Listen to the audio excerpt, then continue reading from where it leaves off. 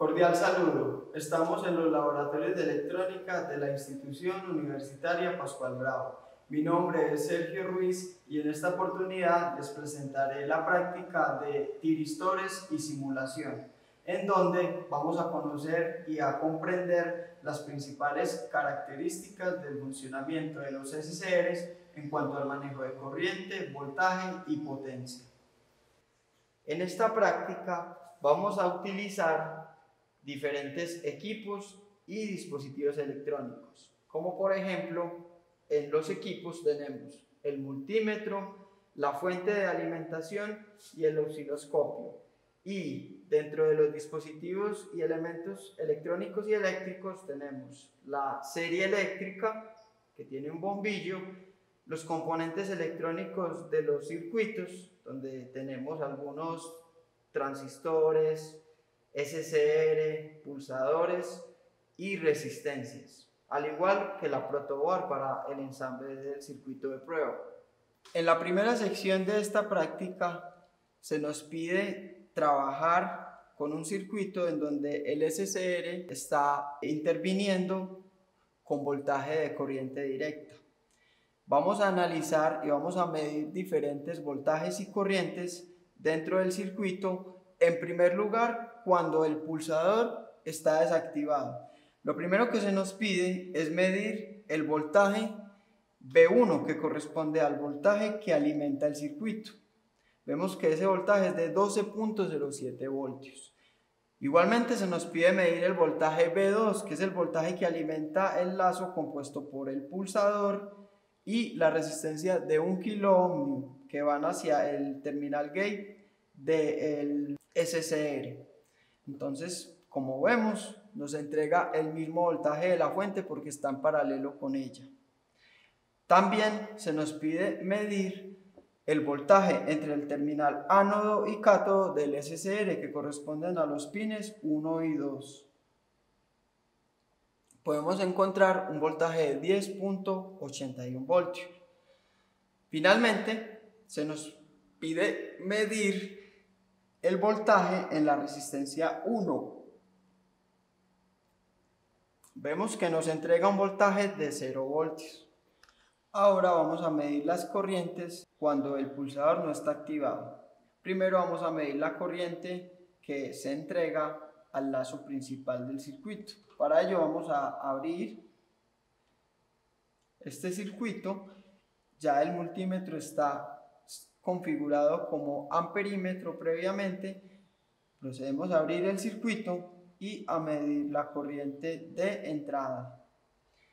Vemos que la corriente es de 0 amperios en este punto. Cerramos y procedemos a medir la corriente en el lazo conformado por el pulsador y la resistencia de un K. Abrimos acá. Abrimos acá el circuito y procedemos a realizar la medición. Encontramos una corriente de 0 miliamperios también. Volvemos a cerrarlo y continuamos con la corriente que se nos pide medirla entre el ánodo y el cátodo del SCR. Voy a hacer lo mismo, voy a abrir el circuito y voy a conectar el amperímetro entre ánodo y cátodo. Vemos que nos entrega una corriente o nos, el multímetro nos entrega una lectura de una corriente de 0.08 miliamperios, una corriente pues relativamente baja, considerable como cero o de microamperios. Volvemos a cerrar el circuito y procedemos a medir la corriente en la resistencia R1, abriendo nuevamente acá el circuito, como ya lo habíamos hecho, y verificando acá. Tenemos una corriente de 0 miliamperios. La segunda parte de esta sección corresponde a la verificación del funcionamiento del SCR, en este caso cuando el pulsador que está conectado a la resistencia de un K y a su vez al gate del mismo está activo. Entonces vamos a proceder a activarlo. vemos que se enciende el LED y para efectos de comodidad en las mediciones lo que vamos a hacer es que vamos a quitar el pulsador y en vez de él vamos a colocar un puente que nos permita medir con mayor facilidad las diferentes corrientes y voltajes que se nos están pidiendo en la práctica. Entonces, lo primero que vamos a hacer es medir el voltaje de nuestro circuito. Entonces vamos a iniciar midiendo el voltaje B1, que es el voltaje, como les decía anteriormente, que se utiliza para alimentar el circuito. Entonces vemos que el voltaje es de 11.32 voltios. Igualmente vamos a medir el voltaje que, está, que se está utilizando para eh, alimentar el lazo del pulsador y la resistencia que va a gate, que también está acá, en esta parte donde colocamos el puente, y es de 11.64 voltios en este caso.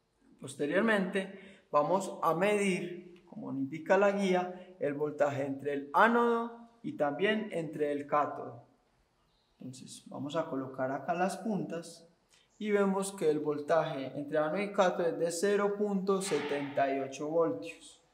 Finalmente, vamos a medir el voltaje en la resistencia R1, la resistencia de un kilo ohmio.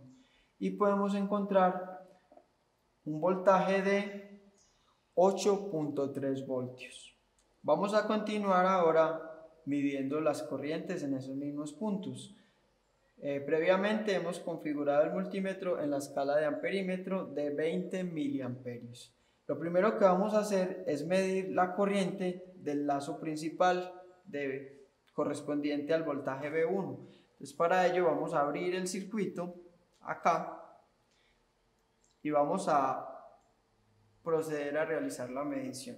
Entonces, en la parte de B1 encontramos una corriente de 37.2 miliamperios aproximadamente. Vamos a volver a conectar el circuito y vamos a medir la corriente en B2, que es la corriente del lazo conformado por el pulsador, la resistencia y el pin de gate. Entonces vamos a abrir acá el circuito y vamos a medir entre esos dos puntos acá y acá. Vemos que nos entrega una corriente de 8 miliamperios en DC. Cerramos acá y seguimos midiendo la corriente que se nos pide entre el ánodo y el cátodo del SCL. Para ello abrimos cualquiera de los terminales del mismo y procedemos a realizar la medición. Entonces, para ello, simplemente vamos a colocar acá y acá, entre el ánodo y el cátodo. Veamos que aparece una corriente de aproximadamente 41 miliamperios. Cerramos nuevamente el circuito y finalmente vamos a medir la corriente NR1.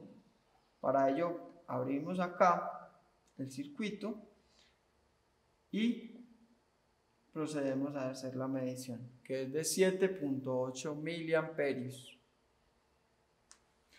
Es muy importante tener en cuenta acá que a pesar de que la práctica o en la práctica se nos pide medir también potencia, podemos eh, a partir de estas mediciones calcular por la ley de Ohm la potencia desde los datos prácticos a partir de las mediciones de corriente y de voltaje realizadas en esta parte de la práctica. En esta segunda parte de la práctica vamos a analizar el comportamiento del SCR en corriente alterna. Para la primera sección de esta segunda parte vamos a trabajar con el pulsador desactivado y vamos a medir los voltajes y las corrientes que nos indican en la guía. Arrancamos con la medición del voltaje B1 que corresponde al voltaje de la fuente. Ese voltaje es de un tipo de voltaje DC, por lo que el multímetro está en, en dicha escala. Vamos a proceder a medirlo acá y encontramos un voltaje de 12.06 voltios. Ese mismo voltaje es el que alimenta la, la rama conformada por el pulsador y la resistencia que está conectada al gate del de SCR está conectado acá en este mismo punto, entonces podemos verificar que tenemos los mismos 12.06 voltios. Ahora vamos a medir, aprovechando que estamos en esta escala, vamos a proceder a medir el voltaje DC en la rama donde está R1. Entonces vamos a medir acá y encontramos un voltaje de 0 voltios. Ahora es necesario, según la guía, medir el voltaje entre ánodo y cátodo, pero resulta que esta parte ya está conectada a un circuito de corriente alterna. Entonces vamos a cambiar la escala, en este caso a una escala de 200 voltios DC, y vamos a medir el voltaje en esos dos puntos, entre ánodo y cátodo encontramos un voltaje de 122.9 voltios AC correspondiente a la línea de alimentación. Ahora vamos a medir la corriente en el circuito cuando el pulsador no está activo. Entonces, eh, ya el multímetro está en la escala de amperios DC y vamos a medir la corriente en B1 y vemos que es de 0 miliamperios. Esta misma corriente es la corriente en B2 porque están en paralelo. Voy a cerrar nuevamente el circuito y aprovechar que tenemos el multímetro en la escala de voltios DC para, perdón, en la escala de amperios DC para medir la corriente en R1. Para ello voy a proceder a abrir el circuito, voy a mover este pulsador que me queda más fácil, abro el circuito y mido la corriente en la resistencia que me da 0 miliamperios. Vuelvo y cierro el circuito y ahora sí procedo a medir la corriente en el SCR. Recordemos que este circuito ya está conectado a una red de corriente alterna, por lo que debo cambiar mi escala a, corriente, a la medición, al amperímetro en la medición de corriente alterna. Bueno, para medir esa corriente voy a proceder a abrir el circuito, lo voy a abrir por acá entre ánodo y cátodo del SCR, voy a abrirlo por acá en cualquier parte y simplemente voy a proceder a medir entre estos dos puntos para verificar la corriente. Entonces vemos que, que en este caso la corriente es de 0 amperios DC. En la segunda sección de esta segunda parte es necesario trabajar con el pulsador activo, que es cuando nos permite activar la carga. Es muy importante tener en cuenta que la potencia de esta resistencia debe ser la suficientemente grande para soportar la corriente que va a circular por allí. En este caso particular de esta prueba que voy a realizar, yo voy a colocar una resistencia o una combinación de resistencias que me permiten eh, mejorar la potencia y alcanzar el mismo valor de un K. Entonces voy a retirar esta resistencia de un K y voy a proceder a colocar mi resistencia o mi conjunto de resistencias para aumentar la potencia y que no se vayan a calentar y a dañar la board o el circuito como tal. Vamos a proceder entonces a realizar las mediciones de voltaje en DC. Para ello, yo voy a quitar mi pulsador y lo voy a cambiar por un cable que me permita facilidad en las mediciones. Entonces vamos a conectarlo ahí y vamos a medir los voltajes. Primero los voltajes en DC. Entonces voy a medir el voltaje B1, que es el voltaje principal que alimenta el circuito de DC Estamos en la escala S del multímetro y encontramos un voltaje de 44.3 voltios. Este mismo voltaje es el voltaje B2 que alimenta, está alimentado por esa misma rama que es lógicamente 44.2 voltios. Vamos a aprovechar que tenemos el multímetro en la escala de DC y vamos a medir el voltaje en la resistencia 1, que es este conjunto de resistencias que tengo yo acá.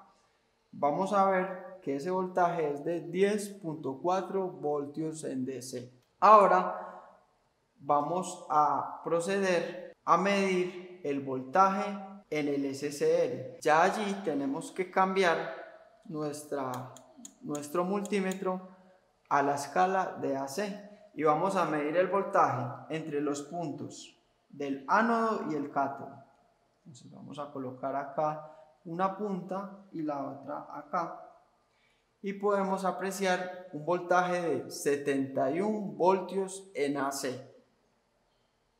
Ahora vamos a medir las corrientes. Ya nuestro multímetro está configurado en la escala de amperios y vamos a medir la corriente que entra a eh, la resistencia de un kilo ohmio.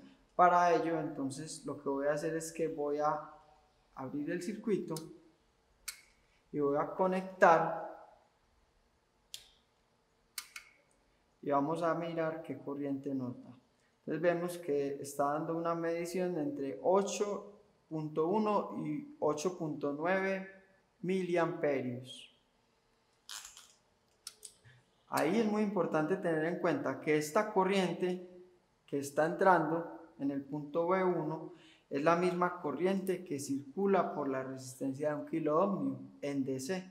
Entonces podemos afirmar en que la corriente de B1 es la misma corriente que está circulando en la resistencia de R1, que como les digo es de entre 8.2 y 8.8 o 8.9 eh, amperios, miliamperios. Lo otro que nos resta es medir la corriente AC entre el ánodo y el cátodo del SCR. Para medir esa corriente, lo que voy a hacer es cambiar la escala. Voy a colocarlo en una escala eh, superior y voy a abrir el circuito en este punto.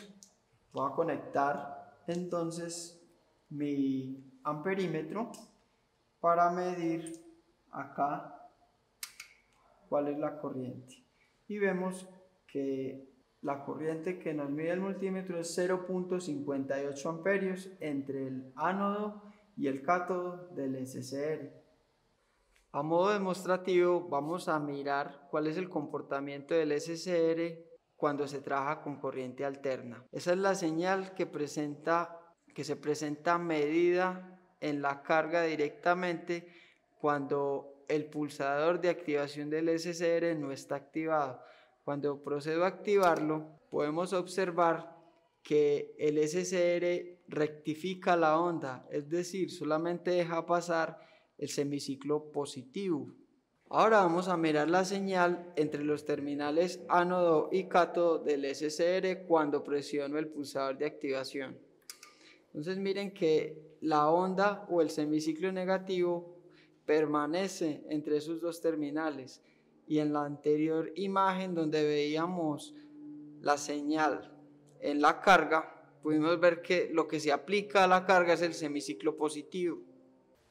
Como conclusión podemos afirmar que pudimos a través de esta práctica conocer cuál es el comportamiento de los SCR cuando se trabaja con corriente alterna y con corriente continua.